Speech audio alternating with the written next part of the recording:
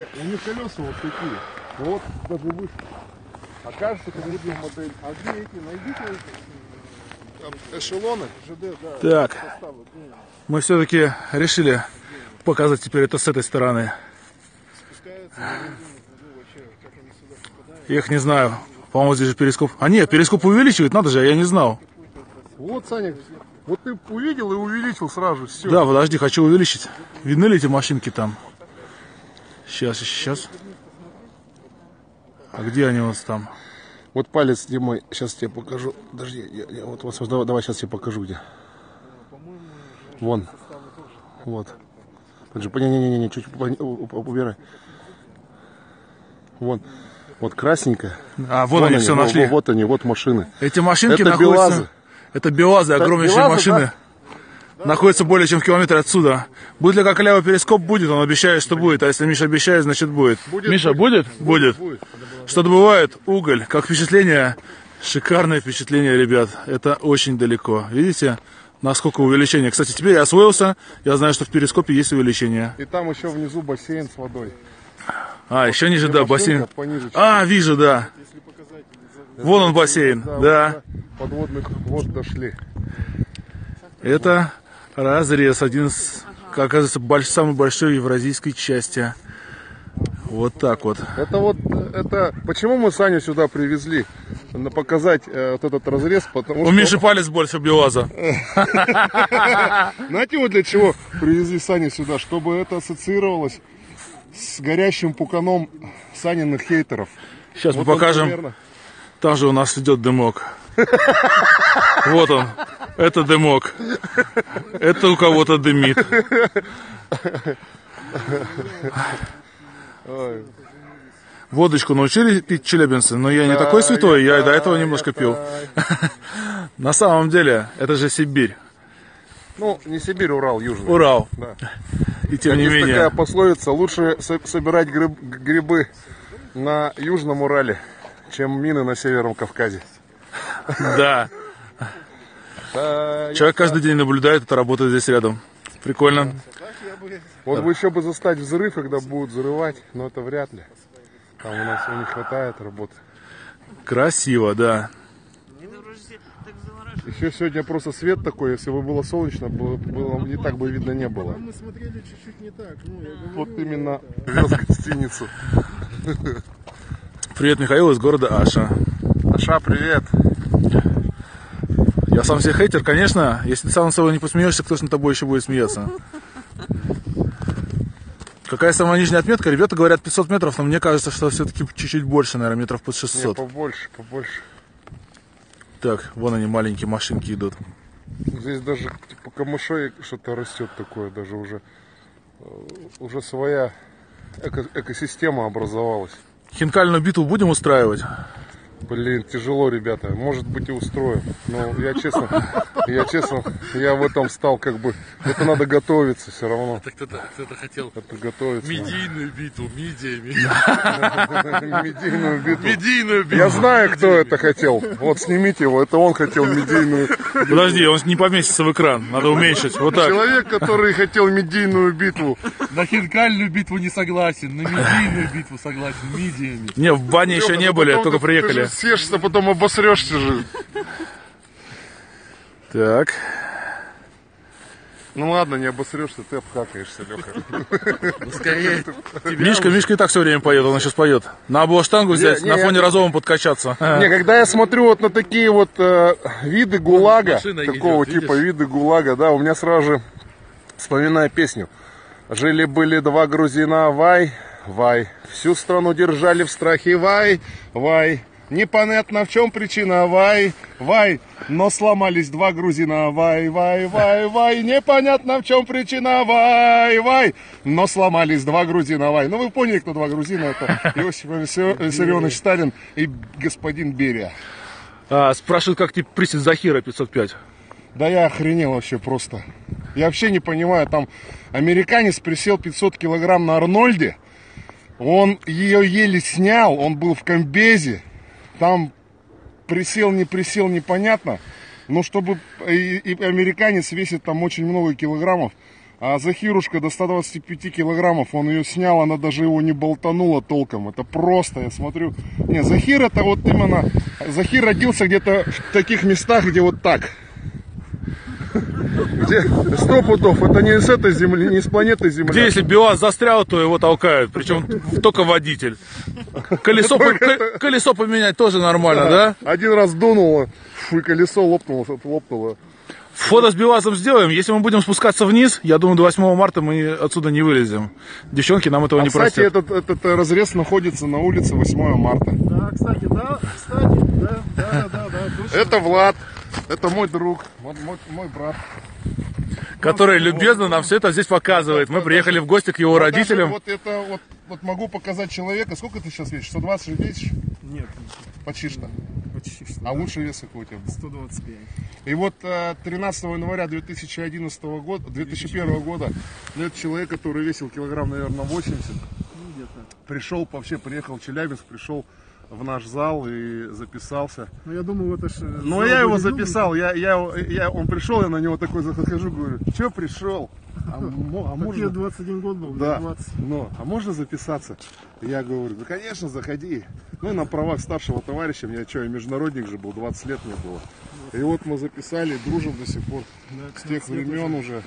Вот, парень, который, э, ну, занимался раньше вот этими делами, сейчас завязал, э, стал мастером спорта по пауэрлифтингу безэкипировочному, кандидатом в мастера спор- спорта.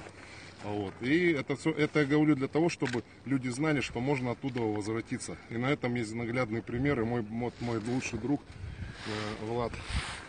Вот и все. Румяненький, здоровенький, крепенький. Так, спрашиваю, сколько я приседал. Я приседал 250 на 2, это все. Но без бинтиков, только в поясе. Спрашивают уже раз, наверное, десятый, где Миша взял такую шикарную куртку, Эту куртку я э, снял с американского летчика. Который не долетел. Мишка, Мишка, Американского летчика, который в 1961 году сбили. Михалыч чуть, чуть не упал. Надо было, надо было снимать, Саня. Вообще было бы круто просто. Но мы я думал, надо было спасать, а ты говоришь, он бы- снимать. Блогер, Да, ты блин. Саня, спасать сейчас никому и не интересно смотреть, как люди спасают. Гораздо интересно смотреть, как люди там падают, там, знаешь, дерутся. Настоящий друг.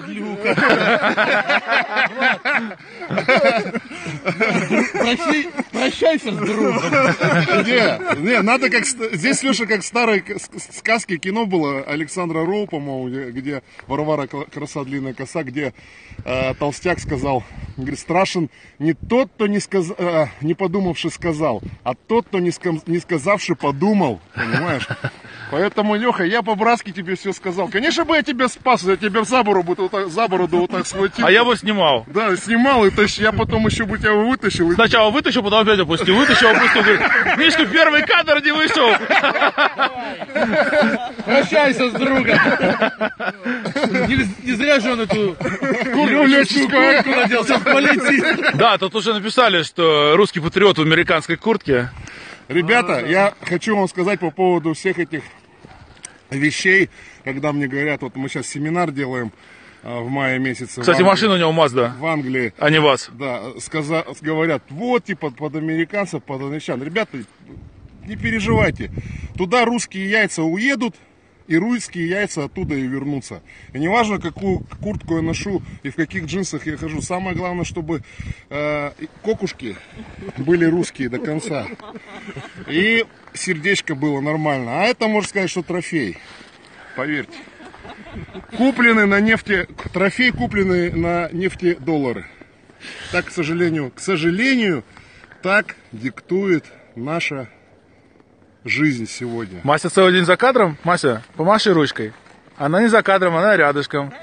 Замерзла, да. Она же у меня как цветочек, она у меня как на Карибы приезжает.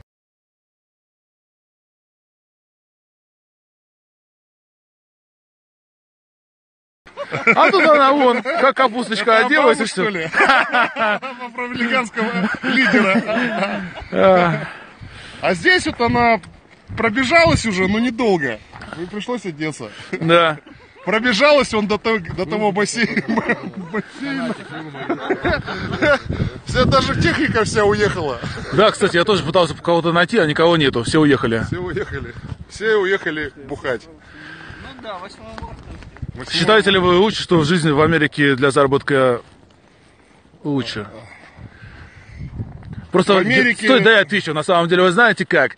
А, у нас ведь практически никто в России ни за что платить не хочет вообще. Я даже не знаю, с чем это связано. Хотят фотосессию за нее не платят. Хотите в журнале, в телефильме, хотите где угодно. За это не оплачивается. Как только ты приезжаешь в Америку, то это просто момент этики. Если вы были приглашены куда-либо, а, вас сфотографировали в журнале, выставили где-либо. Да, мы вчера с Лешей говорили, с Мишей. Написал э, статью в ресторанные ведомости по спортивному питанию, вообще по организации спортивного питания в залах.